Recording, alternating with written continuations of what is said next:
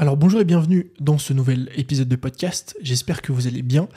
Aujourd'hui dans cet épisode on va faire non pas le bilan de 2023, mais j'aimerais vous partager euh, les leçons que j'ai pu apprendre en 2023, qui sont et des leçons professionnelles, donc des leçons pour mon business, des choses qui ont été utiles dans mon business, qui m'ont servi euh, même au-delà parfois de mon business, et des leçons aussi parfois personnelles, des choses qui m'ont servi dans la vie, euh, pour me développer personnellement, pour vivre mieux, plus heureux, plus serein, ce que vous voulez.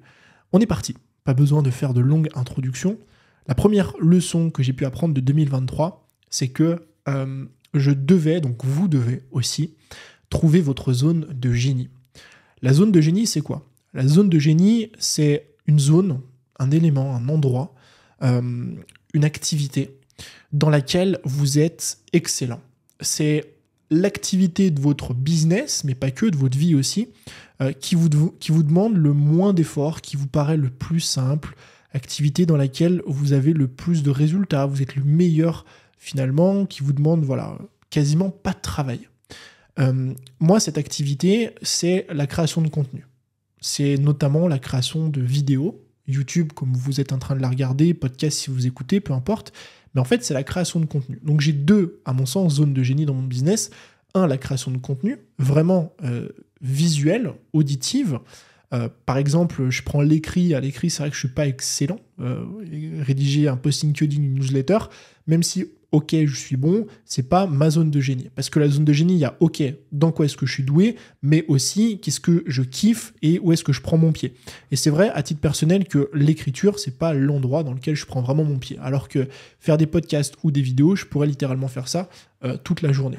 Donc, votre zone de génie, c'est ça. Donc moi j'en ai deux, il y a celle-ci, et la deuxième zone de génie que j'ai, c'est euh, la résolution de problèmes. Alors ça peut paraître extrêmement bizarre, dit comme ça, mais en fait j'ai remarqué en analysant mon, passé quand j'étais un petit peu plus jeune, que j'adorais résoudre des problèmes. Donc au début ça a commencé avec euh, les problèmes de maths à l'école, ça a toujours été euh, euh, une matière que j'adorais, jusqu'à euh, ce qu'on commence à y mettre des lettres. quand on a commencé à mettre des X, des Y et compagnie, là, fallait plus me parler. Mais euh, quand j'étais en primaire, quand j'étais au collège, tout ce qui est calcul mental, ce genre de choses, problème à résoudre, vous savez, avec le, le train qui part dans un sens à telle heure, l'autre dans l'autre sens à telle heure, à quelle heure ils vont se croiser. Bref, tout ça, c'est quelque chose que j'ai toujours aimé faire. et plus je grandis, plus je prends conscience finalement que euh, j'aime résoudre les problèmes aussi de la vie des autres. Euh, j'ai été très très vite passionné par le sport, bien avant le business. J'étais passionné par le, fitness, donc la musculation, euh, dès 17 ans. et je me souviens que je commençais déjà à donner plein de conseils à ma famille, à mes potes, etc. Parce que je regardais des vidéos, j'étais un peu le coach de, de, de la maison, alors qu'ils ils n'avaient rien demandé. Mais voilà, j'adorais essayer comme ça de résoudre des problèmes. Et en fait, je me rends compte aujourd'hui que l'une des activités que je préfère faire dans mon business, c'est créer des formations. C'est la raison pour laquelle j'ai un catalogue qui est aussi large. Et euh, c'est parce que j'aime ça. J'aime me dire, OK, les gens ont un problème, que moi-même souvent j'ai eu dans le passé. Comment est-ce que je peux les aider de façon un peu euh, novatrice euh, à résoudre ce problème? Est-ce qu'il n'y a pas un nouvel angle, une nouvelle façon de voir les choses qui pourrait me permettre finalement de les aider à résoudre ce problème-là. Et euh, sachez que je fais aussi ça bien en, amont dans mon quotidien. À chaque fois que je vois quelque chose dans mon quotidien qui me plaît pas, j'essaye d'y apporter une solution et ça passe par euh, n'importe quel truc. J'essaie d'optimiser euh, le temps que je passe à, par exemple, structurer un épisode de podcast. Vous voyez, j'ai des templates en fait qui font que je passe quasiment moins de 10 minutes à structurer un épisode. J'ai par exemple aussi des automatisations qui m'évitent de faire certaines tâches. Enfin bref, vous avez compris l'idée. En gros, j'aime résoudre des problèmes. Et j'ai mis du temps à comprendre ce truc parce que dans mon business, euh, j'étais cantonné au fait qu'il fallait que je sois absolument partout. Et même au-delà de ça, que personne n'allait être meilleur que moi sur plein de domaines. Par exemple, j'ai mis du temps avant de comprendre que le montage vidéo, ok j'aimais ça, ok j'étais bon là-dedans, mais c'était loin d'être ma zone de génie. Et j'ai mis du temps avant de délier mon montage vidéo, aussi pour des raisons forcément budgétaires, mais j'arrivais pas à admettre que quelqu'un pouvait le faire comme moi et mieux que moi, plus rapidement que moi, etc. Et euh, la chose que j'ai fait, donc j'ai attaqué ça 2022, euh, mais beaucoup plus en 2023, et c'est assez, euh, assez improbable ce que je vais vous dire, je pense, mais c'est que j'ai délégué mon marketing. Alors oui, je sais, ça peut paraître très improbable d'avoir quelqu'un qui est dans le business et qui délègue son marketing. Mais la raison, elle est simple, c'est que j'ai compris cette année que le marketing, c'était pas ma zone de génie. Certes, je sais rédiger de bonnes pages de vente. Certes, je sais envoyer de bons emails de vente, de très bons, je vends bien, et ce que vous voulez, peu importe. Mais il y a un coût d'opportunité énorme euh, quand je le fais moi-même.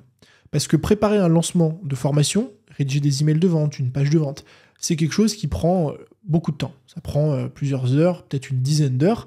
Et en fait, euh, ces 10 heures-là, dans mon business, par rapport à toutes les activités que j'ai aujourd'hui, il vaut mieux que je les consacre à faire autre chose.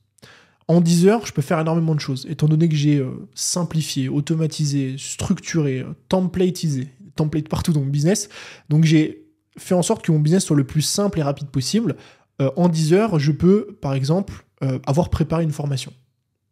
Alors pas à 100%, mais je peux avoir structuré la mind map, mis ça sur un visuel et envoyé ça à euh, ma graphiste qui va le mettre en forme. C'est-à-dire que moi, après, je serai prêt à tourner derrière. Et donc, quand je sais que euh, ma zone de génie, c'est la création de formation, que créer une formation, ça me rapporte beaucoup plus que préparer un lancement, eh bien, il vaut mieux que je délègue ce marketing-là à quelqu'un qui est aussi compétent, voire plus compétent que moi, et que j'économise ces 10 heures pour moi-même les consacrer sur ma zone de génie actuelle. Et en fait, c'est un, mindset qui est compliqué à avoir, qui est difficile, ça demande beaucoup de, ça demande de mettre son ego de côté, tout simplement, parce qu'il faut accepter que quelqu'un fasse les choses mieux que vous. Et en fait, c'est hyper important, je pense, d'identifier aujourd'hui quelle est votre zone de génie, dans quoi est-ce que vous êtes excellent, surtout dans quel domaine est-ce qu'on ne peut pas vous remplacer? Et d'investir le plus de temps possible dans ce domaine-là. Tous les autres domaines dans lesquels on peut vous remplacer, soit par quelqu'un qui est aussi compétent que vous, soit par quelqu'un qui est plus compétent que vous, il faut le faire. Pourquoi aussi compétent que vous ça marche? Parce que le but, moi par exemple, si euh, je parle d'email de vente ou de page de vente, le but en fait c'est même pas moi que j'obtienne de meilleurs résultats avec de meilleures pages de vente, puisque mes résultats actuels me conviennent. Je suis pas en train d'essayer de me dire, je fais des pages de vente pourries, il faut que je trouve quelqu'un qui fasse des bonnes pages de vente. Je suis en train de me dire, faut que je trouve quelqu'un qui fasse des pages de vente aussi bonnes que les miennes, parce que les miennes convertissent très bien, mais euh, qu'il le fasse euh, finalement sans moi. Et donc moi, je vais économiser 10 heures sur chaque lancement. Et c'est un procédé qu'il faut avoir parce qu'il peut vraiment changer la donne dans votre business. La deuxième leçon, c'est qu'aujourd'hui, vous perdez beaucoup trop de temps à essayer d'avoir raison. Je répète, vous perdez beaucoup trop de temps à essayer d'avoir raison. Ça, ça marche dans le business. C'est quelque chose que j'ai appris cette année. En fait, dans le business, on va très très très souvent émettre euh, des hypothèses. On va émettre beaucoup d'hypothèses, beaucoup trop d'ailleurs, sur plein de sujets. Par exemple, je vous ai parlé dans un des derniers épisodes de l'opportunité du podcast en 2024, qui était déjà le cas évidemment en 2023. Et je suis convaincu que parmi toutes les personnes qui vont écouter ce podcast, il y en a peut-être euh, une centaine qui vont se dire, ou qui se disent du coup depuis euh, déjà six mois, putain, il faudrait que je lance mon podcast. C'est trop bien, j'ai envie de le faire, il y a plein de personnes qui le font, euh, j'ai pensé à tel épisode, à tel format, à tel truc. Mais qui pourtant six mois ou un an après ne l'ont toujours pas fait. Pourquoi? Je ne sais pas. Parce qu'elles émettent plein d'hypothèses. Elles se disent ouais mais imagine si. Elles se sortent des excuses. Elles se disent ouais mais j'ai pas le temps de. Elles se disent que c'est peut-être pas fait pour elles. Elles ont peur. Est-ce que ça va marcher, pas marcher, etc. Et le problème de ça, bah, c'est qu'on se retrouve à passer euh, six mois, un an, deux ans, trois ans sans jamais avoir rien lancé, sans jamais avoir rien testé. Et le souci, c'est que si on teste rien, on peut jamais avoir de, de, nouveautés, on peut jamais innover, on peut jamais finalement faire des choses qui nous font passer au niveau supérieur. Et 100% des trucs qui dans mon business m'ont fait passer un cap sont des hypothèses que j'ai testées à chaque fois. Et aujourd'hui, je vous invite en tout cas cette année à ne plus émettre d'hypothèses, ou plutôt si à émettre des hypothèses, continuer à en émettre, être ouvert, vous dire ok, je vois que Tony a dit que le podcast en 2024 c'était une opportunité, ça tombe bien, moi j'ai envie de le, lancer, pourquoi pas? Ça c'est une hypothèse. Maintenant vous prenez cette hypothèse, vous la testez. Mais pas vous la testez dans six mois ou dans un an, vous la testez demain. Comment est-ce que je peux lancer demain le podcast le plus simple possible? Le MVP, le Minimum Viable Product. Quel est le MVP podcast que je peux lancer demain? Et vous lancez ça. C'est pas grave si personne écoute. C'est pas grave si ça fait des vues ou pas des vues. C'est pas grave si vous arrêtez dans 30 jours. Personne vous en voudra et personne ne s'en souviendra. C'est ça le pire. Il y a plein de trucs que j'ai arrêtés dans mon business, des formations que j'ai arrêtées, des formats que j'ai arrêtés, des challenges que j'ai arrêtés en cours de challenge. Le podcast que vous êtes en train d'écouter, je l'ai arrêté, tenez-vous prêt, quasiment 4 fois en 4 ans. J'ai une moyenne en général tous les ans où j'arrête pendant 6 mois ou 1 an parce que le format me convient plus. Un coup, je dis que c'est ma plateforme principale, je suis dessus et euh, j'y vais à fond pendant 30 jours. Et puis après, je me dis, ouais, en fait, non, YouTube, c'est pas mal. Et puis j'arrête le podcast, et, etc., etc. Et croyez-moi, en 4 ans, jamais personne n'est venu me voir en me disant, ouais, Tony, tu saoules, arrêtez et reprendre. Non. Les gens, ils sont OK avec ça. Vous testez des choses et, et si ça marche, vous continuez. Si ça marche pas, vous arrêtez. Faut arrêter, en fait, de se mettre une pression de fou avec ce truc de se dire, si je lance quelque chose, il faut que ce soit ad vitam aeternam il faut que ce soit pour la vie, il faut que ce soit pour 20 ans, il faut que ce soit le projet de l'année. Non. Vous pouvez très bien lancer un podcast, et eh bien, vous faites 3 épisodes, 4, 5, euh, ce que vous voulez pendant 30 jours, et puis si au bout de 30 jours ça vous saoule, vous aimez pas le format, peu importe, bah vous arrêtez. Et quelle est la meilleure façon de savoir si le format vous convient, si les invités vous conviennent, si vous aimez ça, bah c'est de le faire. Le problème quand ça reste au stade d'hypothèse, c'est que vous n'avez jamais la réponse à vos questions. Et qu'est-ce qui se passe quand on laisse un truc au stade d'hypothèse pendant des années C'est qu'on reste pendant des années avec des questionnements sur plein de stratégies qu'on aurait pu mettre en place mais qu'on n'a jamais mis en place. Alors que quand vous émettez des hypothèses, que vous appliquez, que vous les testez, que vous arrêtez aussitôt dès que ça ne vous plaît pas, eh bien vous vous retrouvez dans un an à avoir testé plein de choses. Et parmi ces plein de choses, il y aura neuf trucs qui seront tout pourris et que vous aurez laissé tomber, mais il y aura un truc qui va cartonner. Peut-être que vous allez mettre plein d'hypothèses cette année, vous allez tester le podcast, vous allez tester LinkedIn, vous allez lancer une newsletter, vous allez lancer une communauté euh, à abonnement, vous peu importe, j'en sais rien. Et peut-être que dans un an, la communauté sera restée. Et vous aurez 200 personnes qui payent un abonnement à 50 euros par mois. Peut-être que dans un an, vous aurez tout abandonné sauf le podcast. Et vous ferez partie du top 10% ou du top 10 des podcasts de X thématiques. Et ça, il y a quand euh, en se laissant aller, en se disant je lance un truc et c'est pas grave si ça marche pas, c'est pas grave si j'arrête, c'est pas grave si c'est pas parfait, c'est pas grave si le nom du podcast il est pas idéal, si euh, euh, la maquette elle est pas ouf, si la pochette elle est un peu bancale, c'est pas grave. Des pochettes de podcast, j'en ai fait 6, 7, 8. La première que j'ai fait, elle était immonde au possible. J'ai fait ça sur Canva. j'ai pris un truc qui existait déjà, une photo qui était déjà là. J'ai mis ma tête dessus. J'ai appelé ça l'école des créateurs. J'ai même fait une faute d'orthographe sur la maquette. Mais voilà, c'est parti. Et j'ai même personne qui m'a dit euh, Ouais, Tony, euh, ça fait pas pro. Euh, non, on s'en fout. Parce que les gens, ce qu'ils veulent, c'est écouter un podcast. Ils s'en foutent de votre maquette, de savoir ce qu'il y a dans la description. Donc, ça, en 2024, il faut vraiment l'avoir. Leçon suivante je ne serai jamais multimillionnaire. et c'est OK. c'est OK. C'est pas grave. Je veux dire, à un moment donné, il faut pas se leurrer. je suis un partisan du travail dur, quoique, enfin bon, je pense que il faut travailler dur. Je pense notamment quand on se lance, euh, on peut pas passer à côté de ça. Hein. Croyez-moi, on peut pas passer à côté euh, euh, du fait de bosser dur, de se mettre à fond dans ses projets. je pense pas qu'on puisse obtenir des résultats en bossant une heure par jour les trois premières années de son business. Je pense qu'il faut y aller un peu plus quand même. par contre, je suis pas non plus un hustler, c'est-à-dire qu'à partir du moment où votre business il est là, qu'il est en place, que vous gagnez bien votre vie, moi je suis pas le genre de personne, et c'est l'un des points suivants d'ailleurs, qui est qui est, qui est euh, je ne sais plus où. Euh, c'est l'un des points suivants. Oui, voilà, c'est ça. C'est l'un des points suivants, en gros, qui est que je suis bien plus que mon business. Donc, bref. Et en fait, ce qu'il faut comprendre, c'est que si aujourd'hui vous voulez être multimillionnaire, pour revenir aux efforts, ça se fait pas en bossant deux heures par jour. Quand vous avez un business qui est en place. C'est très rare en tout cas. C'est très, très, très, très, très rare. Pour devenir multimillionnaire, je parle de vraiment pas un million à l'année, 1,2 million, mais je parle de générer 5, 6, 7, 8, 10 millions à l'année, 12, 13, 15, 20 millions à l'année, ce que vous voulez, euh, bah c'est beaucoup plus que 2 heures par jour qu'il faut bosser, beaucoup plus que 3 heures par jour. Il faut lancer des projets, il faut avoir des équipes, il faut faire du management, il faut avoir des salariés, il faut lancer des startups, il faut bosser 70 heures par semaine, euh, bref, il faut faire énormément de choses. Il y a peut-être 0,001% des gens qui vont être multimillionnaires en, ayant une idée de génie incroyable, qui, vont, euh, va demander peut-être de bosser 3 heures par jour, mais pour la majorité des cas, c'est pas ça. Et en fait, au début, j'étais un peu frustré de ça. De me dire, mais en fait, moi, j'ai envie de devenir multimillionnaire. J'ai envie de devenir ça. J'ai envie de bien gagner ma vie, de très, très, très, très bien gagner ma vie pour avoir euh, un confort de vie, pour pouvoir offrir aussi ce confort à ma famille, pour pouvoir avoir plus de liberté, réaliser d'autres projets aussi qui n'ont rien à voir avec ce que je fais actuellement, etc. Euh, mais en fait, il faut bien que je me fasse à l'idée que je n'ai pas envie de mettre les efforts qui sont requis pour atteindre cet objectif. Et ça, j'ai mis du temps à l'accepter, mais c'est OK. C'est-à-dire que oui, j'ai envie d'atteindre cet objectif, j'aimerais l'atteindre, mais je ne suis pas prêt à gérer des équipes de dizaines de personnes, je ne suis pas prêt à avoir des salariés, je ne suis pas prêt à bosser 70 heures par semaine pour atteindre ce résultat. Et du coup, bah, c'est pas grave. je ne serai pas multimillionnaire, je gagnerai jamais sans doute 10 millions d'euros par an, 20 millions d'euros par an, euh, mais c'est pas grave. Pourquoi? Parce que ce qui compte pour moi dans la vie, bah, c'est pas ça. Ce qui compte pour moi dans la vie, c'est la vie que j'ai aujourd'hui, c'est la liberté que j'ai aujourd'hui, de pouvoir faire ce que je veux quand je veux, d'avoir de comptes à rendre quasiment euh, à personne, de bosser en moyenne 3h30 par jour, euh, de pouvoir m'entraîner, d'aller promener mon chien, aller lire un bouquin en bord de rivière sous le soleil, enfin voilà. Ça, c'est la vie que j'ai envie d'avoir et c'est la vie qui me rend heureux. Donc aujourd'hui, j'accepte de ne pas être multimillionnaire. Euh, peut-être que je le serai un jour, euh, si un jour j'ai envie de travailler 80 heures par semaine pendant 10 ans, mais en tout cas, c'est pas le, cas actuellement et c'est quelque chose que j'ai euh, accepté. Le point suivant, c'est qu'il y aura toujours beaucoup plus que moi. Alors quand je dis beaucoup plus que moi, c'est qu'il y aura toujours mieux que moi.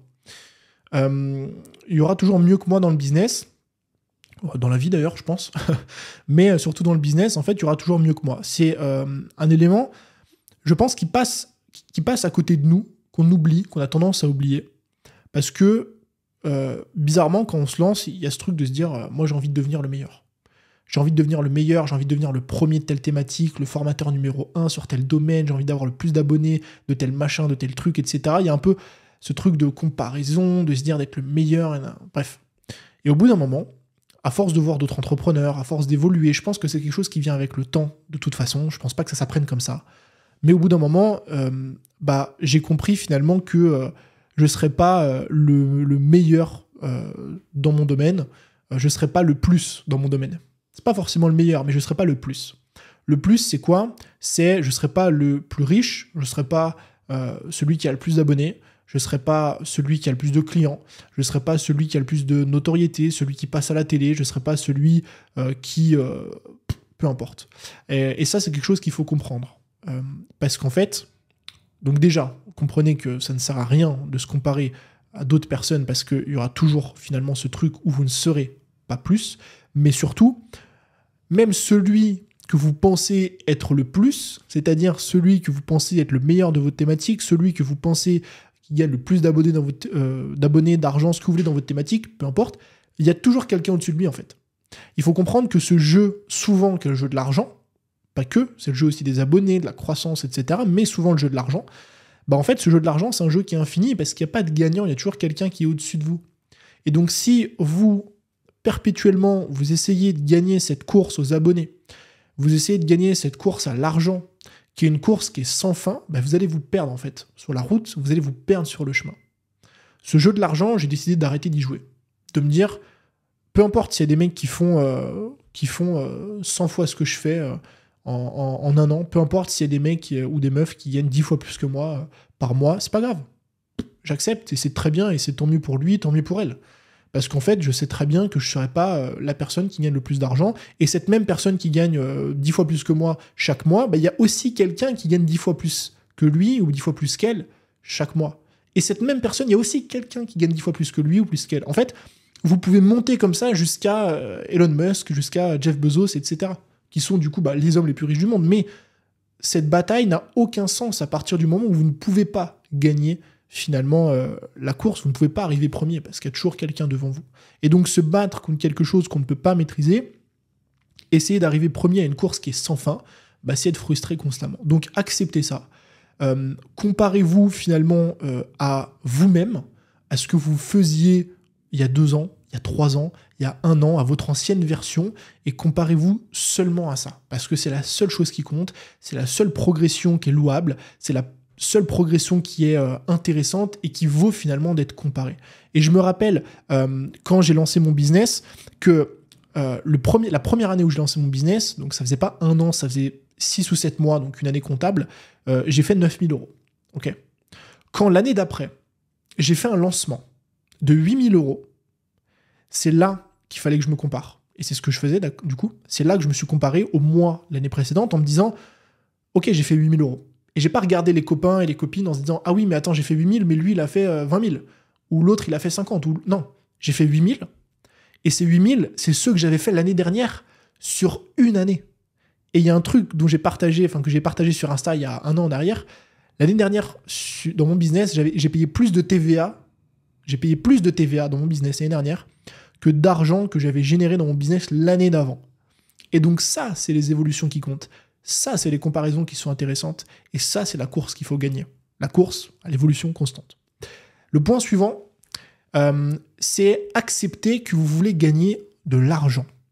Alors, je dis ça parce que pendant longtemps, et je pense pas être le seul, pendant longtemps, j'avais honte de mon métier, j'avais honte de ce que je faisais, j'avais honte de gagner de l'argent, j'avais honte de parler d'argent, j'avais honte de toutes ces choses. Quand je dis honte, c'est un mot qui est, fort, évidemment, j'avais pas honte, honte, mais euh, voilà, j'étais réticent, j'avais un peu plus peur, on va dire. J'avais un peu plus peur parce que, euh, de un, c'est un métier qui est assez nouveau, de deux, parler d'argent sur Internet, bon, euh, aujourd'hui ça va mieux, mais à l'époque c'était quand même assez compliqué. Et en fait, j'avais peur un peu des retours des gens, peur de la vie, peur de ce qu'ils pouvaient me dire. Et aujourd'hui, je comprends qu'il faut pas avoir honte de gagner de l'argent. Pour la simple et bonne raison que l'argent, il ne faut pas le voir comme une finalité. L'argent, il ne faut pas le voir comme euh, un, chiffre numérique qu'on va venir euh, avoir sur notre compte en banque et puis après on va pouvoir, euh, on va pouvoir aller pardon, s'acheter des trucs incroyables. L'argent, c'est une énergie, c'est quelque chose qu'on va venir échanger contre autre chose. Si demain vous allez acheter une bouteille d'eau, vous échangez votre énergie. Donc pourquoi c'est de l'énergie? Parce que pour gagner de l'argent, vous avez en général échangé du temps ou échangé de la valeur. Donc cette énergie-là que vous avez aujourd'hui, l'argent, vous l'échangez contre autre chose, qui est un bien, qui est de l'eau, et qui va finalement nourrir votre corps et votre énergie. Et donc moi, aujourd'hui, et j'ai mis du temps à le comprendre, mais les revenus que je génère tous les jours, toutes les semaines, tous les mois, chaque année, c'est de la valeur. C'est pas de l'argent. Quand je vends un produit, je vends pas de l'argent, je gagne pas de l'argent. Enfin, si, je gagne de l'argent, mais cet argent, il est en l'échange de quelque chose. Et ce quelque chose, c'est quoi? C'est de la valeur, c'est de la transformation. Et quand on est dans un business de service, quand on est dans un business d'information, vous devez avoir ce shift-là. Et ce shift, pourquoi il faut l'avoir? Parce qu'il va vous permettre de ne plus voir finalement l'argent comme quelque chose de mauvais, comme une finalité et comme un truc, euh, bah, il faut gagner de l'argent parce qu'il faut en gagner. Non, parce que plus vous gagnez de l'argent, plus ça veut dire que vous aidez des personnes, que vous résolvez des problèmes, que vous amenez de la valeur, que vous changez des vies parfois, dans plein de thématiques. Je pense aux personnes qui sont dans la thématique des TCA. Je pense aux personnes qui sont dans des thématiques qui sont deep, par exemple des psychologues, etc.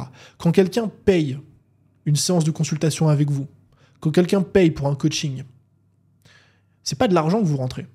C'est un échange de valeur. Et cette personne, vous allez la rendre plus heureux, plus heureuse, vous allez résoudre un problème, il y a une vraie transformation qui se fait derrière. Et donc ça, c'est un shift qu'il faut avoir parce que de cette façon, on n'est plus finalement euh, dans cette restriction d'argent, on n'est plus dans cette restriction de dire, bah en fait, faut pas que je gagne de l'argent parce que c'est mauvais, donc je vais pas trop parler de mes offres, j'en ai un peu peur, je vais pas mettre ça en avant, je vais pas... Ouais mais attends, je vais partager ça en story, mais qu'est-ce que les gens vont penser? On s'en fout ce que les gens vont penser. C'est pas grave, parce qu'il y aura toujours des gens qui vont dire, t'es relou à parler de tes offres, mais on s'en fout de cela. Ce qui compte, c'est qui est-ce que vous allez aider quand vous allez le faire. Et ça, c'est un shift qu'il faut avoir parce que plus vous allez être à l'aise avec le fait, de un, de parler d'argent, mais de deux, avec le fait de parler de vos offres, plus vous allez être à l'aise avec ça, plus vous allez le faire, plus vous allez gagner d'argent, plus vous allez euh, impacter la vie des gens et leur apporter des solutions à leurs problèmes. Donc, ayez ce shift cette année parce qu'il est très important. Le point suivant, c'est que dans votre business, et pas que, dans votre vie, euh, il y a seulement une infime partie des choses qui sont importantes. Alors au début, j'ai parlé du business, mais pas que. Dans le business, euh, il y a une infime partie des tâches que vous allez mettre en place qui vont être, qui vont être importantes. Je prends l'exemple qu'on avait précédemment de la zone de génie. En fait, si vous prenez l'entièreté de votre business, que vous listez toutes les tâches que vous mettez en place, vous allez vous rendre compte que vous pouvez éliminer bien souvent la moitié des tâches éliminer, enlever, supprimer, déléguer, automatiser, ce que vous voulez, mais la moitié des tâches peuvent dégager. Alors oui, elles auront un impact sur votre business, peut-être que vous allez perdre 10% de chiffre d'affaires, mais il y a 50% des tâches qui partent à la poubelle. Pourquoi? Parce qu'il n'y a qu'une infime partie de tâches qui sont importantes. Les tâches en général sont liées à des axes, donc c'est trouver des clients, donc c'est euh, euh, croissance, euh, conversion. En gros, il y a deux tâches principales, hein, croissance, conversion, connexion peut-être avec des clients ou votre audience, mais ça s'arrête là. Et donc vous vous rendez compte finalement que toutes les autres tâches sont un peu futiles, on vient les rajouter comme ça, on vient complexifier un peu les choses. Et donc je vous invite vraiment à, prendre le temps de faire ce point-là dans votre business, lister toutes les tâches et vous dire lesquelles sont indispensables et sont les plus importantes. Quelles sont les tâches que je ne peux pas supprimer sinon mon business s'effondre? Et quelles tâches euh, je peux supprimer? Ou quelle tâche je peux enlever qui impacte seulement peut-être 1 ou 2% des résultats de mon business? Et vous allez voir qu'il y a énormément de choses que vous pouvez enlever. Euh, mais ces infimes tâches qui apportent la, majorité des résultats, en fait, ça marche dans tous les domaines de la vie. Si on prend la santé, la santé, il y a une infime partie de choses que vous pouvez faire qui améliorent euh, grandement votre santé. Donc c'est un peu le 20-80. Je vous prends deux trucs tout con. Tout con. Boire de l'eau et marcher et faire 10 000 pas par jour. Si vous faites ça, boire de l'eau, donc si vous buvez 3-4 litres d'eau par jour, et que vous marchez 10, 12, 15 000 pas par jour, c'est 20-80. C'est deux actions qui vont faire grimper en flèche votre santé aujourd'hui et votre longévité, la santé que vous avez sur le long terme. Si je prends euh, la nutrition, c'est pareil, 20-80. Manger euh, des légumes, manger des protéines, éviter euh, tous les aliments transformés. Il y a, oui, vous pouvez aller chercher des trucs compliqués, des optimisations, de je sais pas quoi, ok, mais 20-80. Évitez les aliments transformés, supprimez les aliments transformés de votre vie. Mangez des fibres, des légumes ou même des fibres qui viennent d'autres choses, flocons d'avoine, etc. Des protéines et quelques glucides, mais répartissez bien le truc. Et ça suffit. En tout cas, c'est 20-80. Dans le sport, musculation par exemple, c'est pareil. Les entraînements 20-80. Arrêtez les mouvements bizarres et compliqués à la poulie vous faites des saltos arrière. Non.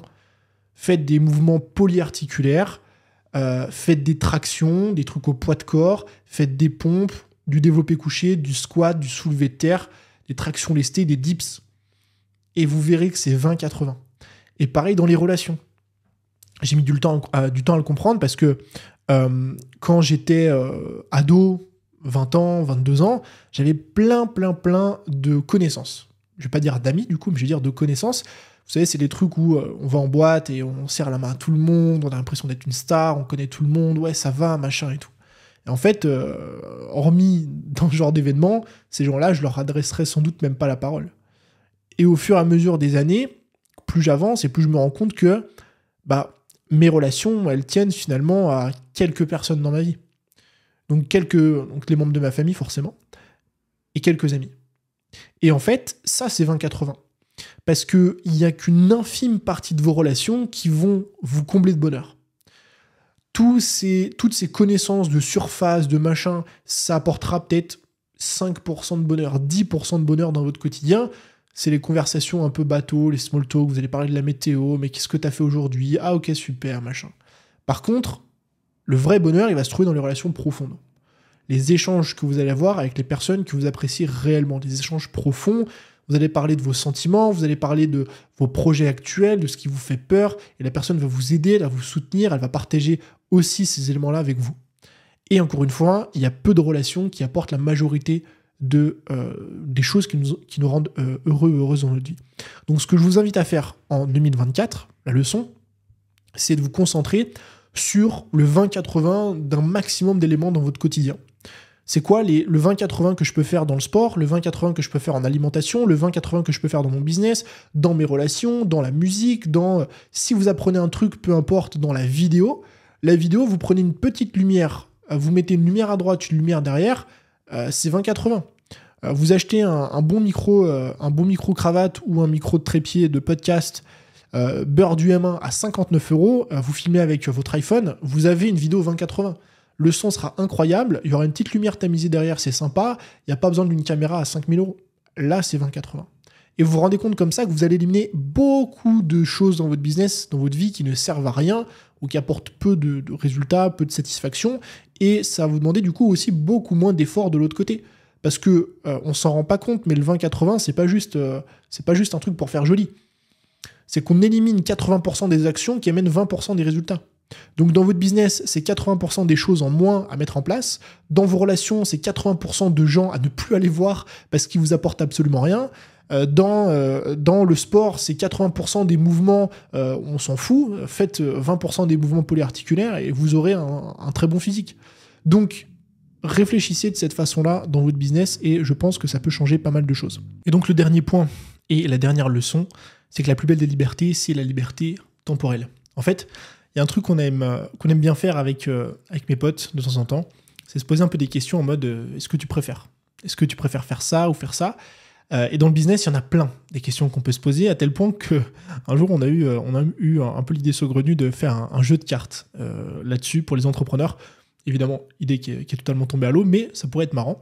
Et en fait, un jour, on s'est posé la question est-ce que tu préfères être salarié? Enfin, même pas forcément salarié, en vrai, même freelance, peu importe, mais est-ce que tu préfères avoir des horaires fixes, donc bosser du lundi au vendredi euh, de 8h euh, à 17h, donc 17h30, 17h, 17h30, pour 10 000 euros par mois, ou est-ce que tu préfères gagner 1500 euros par mois, mais pouvoir faire le même nombre d'heures, pareil, à peu près 30-35 heures par semaine, euh, par contre, organiser tes horaires comme tu veux? Et en fait, le résultat de ce sondage, un petit peu, euh, c'est que je préfère gagner 1500 euros par mois.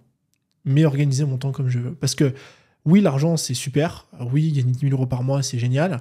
Mais en fait, dans les deux optiques, je préfère l'optique où je suis libre de faire ce que je veux parce que l'une des plus belles choses que j'ai pu faire avec mon business, c'est d'avoir cette liberté-là. Cette liberté euh, temporelle, de pouvoir bosser quand je veux, de pouvoir me dire bah si j'ai envie de bosser en dimanche, je bosse en dimanche. Euh, si j'ai envie euh, de me lever aujourd'hui à midi, je me lève à midi. Euh, si je me sens un peu malade et que je veux pas bosser, je bosse pas. Si au contraire je veux rattraper mon taf le soir parce que je me sens motivé, je le fais. Enfin, de pouvoir en fait vraiment adapter le travail à ta vie, à ton énergie actuelle, à ce que tu veux faire en fait. et je trouve que ça c'est l'une des plus belles choses, avec évidemment le côté euh, bah, liberté géographique, de pouvoir aussi dire bah, je bosse d'où je veux, quand je veux, et ainsi de suite. Et je pense qu'un business, enfin, je pense en tout cas que dans euh, nos business, on devrait chercher de plus en plus euh, à gagner cette fameuse liberté temporelle, à gagner cette fameuse aussi liberté géographique. Et l'une des armes que j'ai utilisées pour faire ça, que moi je conseille vraiment à tout le monde d'utiliser et qui je pense va être de plus en plus mise en place en 2024, c'est les tunnels de vente. Parce que les tunnels de vente, ça reste quand même l'une des armes les plus redoutables pour décorréler son temps de travail de ses revenus. Et décorréler son temps de travail de ses revenus, ça veut dire quoi? Décorréler son temps de travail de ses revenus, ça veut dire que on peut continuer à gagner de l'argent, peut-être autant, voire même plus, sans avoir à travailler tout en temps. Et ça, c'est la liberté temporelle ultime. C'est pouvoir vous dire, bah en fait, si, je te, si cette semaine j'ai envie de bosser que un, deux ou trois jours, voire pas du tout, bah je peux le faire parce que ça aura pas d'impact sur mes revenus. Et moi, depuis personnellement que j'ai mis en place les tunnels de vente, c'est la chose qui a le plus changé ma vie, euh, qui a le plus changé mon quotidien, qui m'a permis le plus de gagner en liberté, de ne pas être dépendant de mes lancements, etc. Et à l'occasion de 2024 et à l'occasion de podcast, j'ai décidé de vous offrir une formation gratuite. Je viens de la tourner il y a quelques jours de ça, une formation dans laquelle je vous montre de A à Z comment est-ce que je fais pour créer un tunnel de vente en partant de zéro. Vous verrez que si vous avez une offre, c'est quelque chose qui peut être mis en place très facilement, qui ne demande pas énormément de technique, il y a juste à suivre finalement quelques tutos, et que si vous avez une offre qui est déjà en place dans votre business, c'est-à-dire que vous avez déjà un, produit en place, un produit digital, même du coaching, peu importe, et que vous pluguez en fait un tunnel de vente et que vous amenez du trafic cette semaine, vous allez pouvoir automatiser déjà vos revenus cette semaine. Donc pour accéder à la formation gratuite, il y a un lien juste en dessous de cet épisode, je vous laisserai y accéder. Et on a fait maintenant le tour des leçons que j'ai pu apprendre en 2023. Je vous remercie d'avoir écouté ce long podcast. Je vous dis à très bientôt pour un nouvel épisode. C'était Tony. Ciao